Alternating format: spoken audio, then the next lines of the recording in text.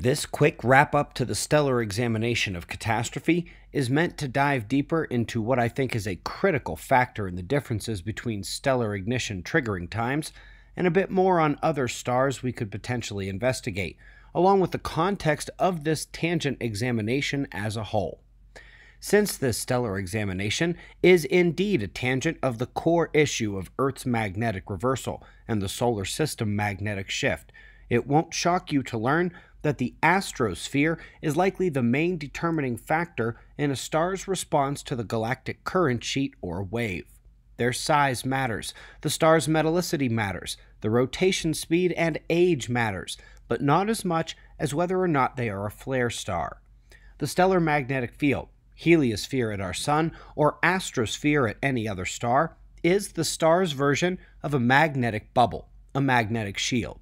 The stronger they flare, the stronger their magnetic bubble, which not only blocks out cosmic rays, but would defend against the galactic current sheet or wave. Space weather corollaries on Earth should be jumping into your brains, veteran observers. And for things like close binaries like Alpha Centauri A and B, their combined magnetic shields, their astrospheres, make a formidable opponent for the galaxy. For the most powerful stars, say towards the outermost parts of the galaxy, I bet the current sheet can't do much to them at all. And so, with that in mind, and especially recalling our Part 2 examination of the timing of star flaring nearby, let's dive deeper into the final notes from Part 2 the problem of investigating other stars. So, indeed, we do have enough evidence to conclusively state that Proxima Centauri had an unprecedented superflare amidst a general surge in activity of late, and that about 20 years earlier, a similar surge took place at the thought to be non flaring star Barnard, which is no longer characterized as such. But as you go further out, the stars are somewhat less well understood. Their distance uncertainties grow, and there are other problems too. Here is a list of the closest stars. The Wikipedia entry does match the official catalog and indeed is only a tenth as annoying to look at, so here we go. And in closest order to Earth at the top, starting with Sol, our sun, and including the Centauri system below that, Barnard's star follows. The next stars are either non flaring cold dwarfs, or they're on the wrong side of the solar system from the center of the galaxy, like Wolf and Sirius. Truly, the first good candidate we have after Barnard is Ross 154, sitting at just over 9 light years away. This too is a flare star, strong astrosphere, seen shining in X rays since the beginning, and scientists saw an incredible outburst there years ago too. But it was also towards the end of 1992, perhaps at the beginning of 1993, actually, a few months after the Barnard blast. Now, this star is almost dead on a line with the center of the galaxy, as you can see at the pulsing crosshairs here. And given that it is almost three light years further than Barnard, here is where things get tricky. Because while the galactic current sheet or galactic wave would almost certainly have hit Ross before Barnard, Ross would be much, much harder to trigger. Its astrosphere is powerful. It's a flare star, like Proxima, and while Barnard is relatively unshielded by comparison, potentially taking the effects right away, the flare stars of Ross and Proxima simply have no physics based argument for being triggered so quickly, which is another reason I am confident in the analysis that the sheet is already affecting our system. The Proxima date betrays our logic, as it was delayed much more than Barnard's reaction, just like Ross. Beyond that, things get way too difficult to even try to compare. When you find a star that actually is in line with the galaxy, you are out 11 light years away at the Struve or Struve binary, a known flaring system, but which would have had its major outburst well before the X ray telescopes launched. And obviously, data into the past for comparison isn't there either. While we do have lots of good data on what stars are where, we just do not have the same level or timeline of data for super flare level outbursts. You get further out, and all of those other differences between the stars take the difficulty over the edge.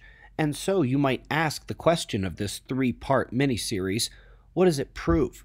What's the most we can say? Well, folks, this indeed was a tangent miniseries. This is not the proof of the disaster. The proof comes from primarily the wholly mainstream recognized cycle of magnetic excursions and disasters after the world's number one geophysics journal ended that discussion this year, which you can learn about at one of the video links listed below this video. And we know that much is set. We know we are due for another time wise, and the magnetic field is indeed changing like it hasn't done in thousands of years. Furthermore, the isotopes like aluminum 26 and the transuranic elements suggest a nova level energetic event, and that nova can also explain the impactors, but that doesn't work the other way around, not to mention that the impactor can't cause a magnetic reversal. The surge deposits found around the world are water driven and are just one piece of evidence for the continental sized waves. The polar tropical marine skeletons and their abundance of coal tell a different story of their historical latitude the astrophysics says the sun has a sixth gear. The geophysical evidence says it's been used on Earth before. And the cosmology indeed suggests that the double whammy nova trigger arrives at the galactic scale. And that, folks, is the proof. The movie, the 23 episode series, and the follow up videos before this three part miniseries tangent.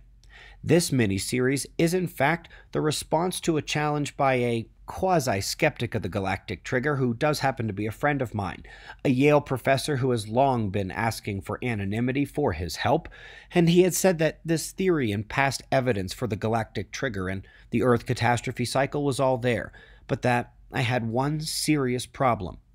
The other planets, the nearby stars in line to be hit before us, should be showing the change as well, and be showing it to us with hard evidence.